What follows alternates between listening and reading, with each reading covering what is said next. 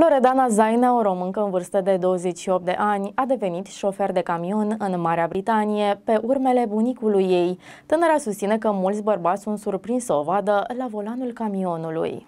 Conform mesajul.ro, Loredana, șoferița de tir superbă ca un fotomodel. Există bărbați care mă judecă. Loredana Zainea, în vârstă de 28 de ani, locuiește în Marea Britanie, acolo unde a ales să îmbrățișeze meseria de șofer de camion. Românca, în vârstă de 28 de ani, a dezvăluit într-un interviu pentru o publicație britanică că încă mai există șoferi de camion care o judecă. În plus, Loredana susține că îi se spune spune că nu știe să conducă la fel de bine ca un bărbat. Tânăra femeie îi uimește de fiecare dată, iar bărbații rămân cu gura căscată când o văd conducând. Loredana calcă pe urmele bunicului ei. Bărbatul era șofer de camion în România. Dar Loredana spune că se confruntă cu prejudecăți în fiecare zi în meseria ei. A adăugat, deși consider că îmi fac meseria cu responsabilitate, există șoferi de camion de sex masculin care mă judecă din cauza aspectului meu fizic și pentru că sunt femeie. Sunt oameni care spun că nu voi putea parca bine camionul sau că nu voi putea face treaba la fel de bine ca un bărbat.